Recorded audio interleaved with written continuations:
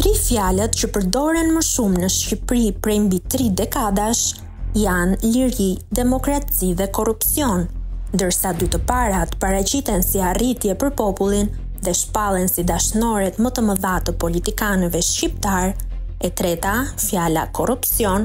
është shpallur si armik dhe nga mëngjesi në darkë nuk pushojnë përbetimet për luftë kundër tij. Kur shikon dhe dëgjon njeriu i thjeshtë ulërimat, akuzimet, kërcënimet dhe damkosjet që politikanët shqiptarë të të gjithë krahëve i bëjnë njëri-tjetrit për flirtime dhe bashkëjetesa të ndaluara me korrupsionin, çuditet dhe pyet veten se si është e mundur që ky qafir me emrin korrupsion jo vetëm ia ka dalë të mbijetojë e t'u shpëtojë kryqëzatave zhurmëmëdha të ndërmarra nga politika, por madje është bërë pjesë e pandarë e ndërgjegjes sonë të kalbur dhe bashkudhëtar i çdo administrate shtetërore, qendrore dhe vendore, secila palë e akuzon tjetrën se ka rënë në dashuri me korrupsionin, duke zvetnuar moralin shoqëror dhe cenuar interesat popullore. dhe pastaj betohet se sapo t'i jepet mundësia do ta shpartallojë një herë e mirë armikun korrupsion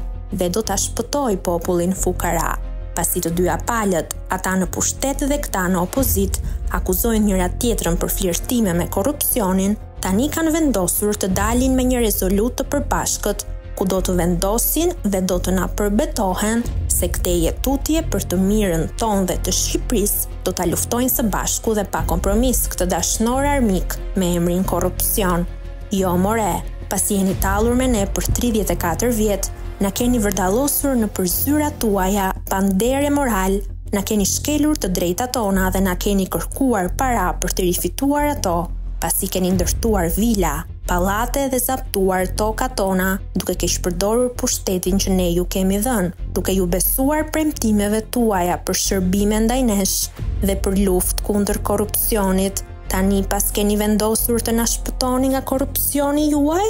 Qytetarë të lirë dhe shtet demokratik nuk mund të ketë atje ku Don Zhuani korrupsion gjendet në çdo zyrë shtetërore. dhe shërben si mjet për fitimin e të drejtave kushtetuese të shtetasve.